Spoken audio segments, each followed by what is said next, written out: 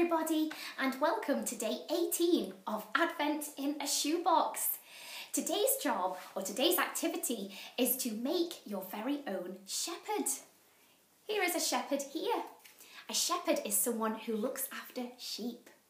And the shepherds have an important part to play in the Nativity story.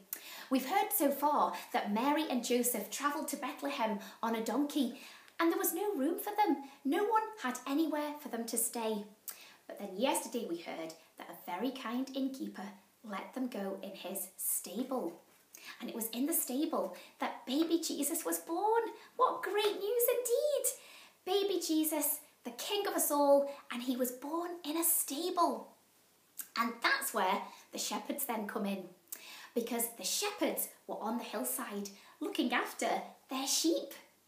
When suddenly a big of angels appeared in the sky, and the angels gave the really good news to the shepherds that Jesus had been born and that Jesus is King.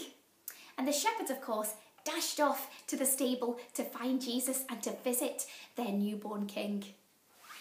So, to make your own shepherd, you're just going to do the same as what we've done in all the other activities for making people. You're just going to have your semicircle and do it in that very special way like that to make your cone shape.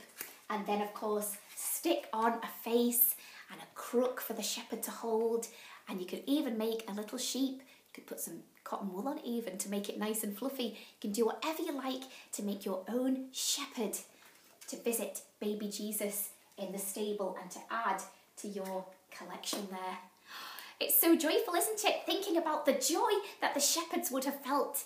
On Sunday, we lit our third candle on our Advent wreath, which symbolises joy. So we're really thinking about joy this week and being joyful. And just imagine that joy that the shepherds felt when the angels told them that baby Jesus was born, King of all the world. What good news indeed. So today, let's go and make our own shepherds and feel that joy in our hearts. Have a lovely day, and I will see you again tomorrow for the next activity. Bye for now.